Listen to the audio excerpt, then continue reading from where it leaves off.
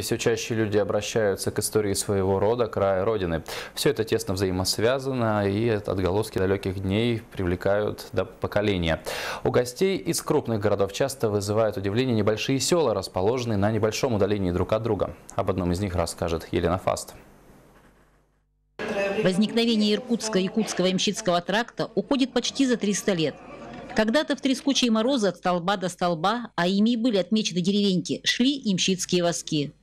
Сегодня многих деревень нет и в помине, но до сих пор живы и здравствуют их потомки. Вот цель нашей организации – это чтобы молодое, особенно молодое поколение знало историю своих предков, историю своего родного края.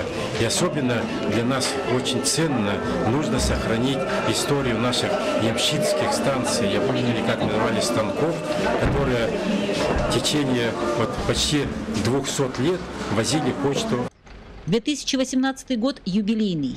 275 лет – дата, которую планируют раскрыть в полной мере, сделав доступной богатую информацию для всех желающих. Культурологические чтения, организованные в Алекминске, интереснейшие доклады позволят добавить много новых сведений в книгу.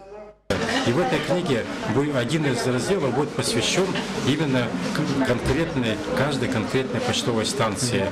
А всего таких почтовых станций от Иркутска до Якутска было 126. В музее Легминска хранятся уникальные экспонаты, свидетели тех лет, и хотя сегодня лошадка с повозкой привычна только в селах, хранится и вся богатая культура того времени.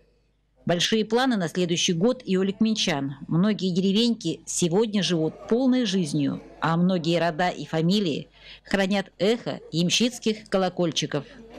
Елена Фаст, Максим Копылов, Сергей Лифу, НВК Саха, Алекминск.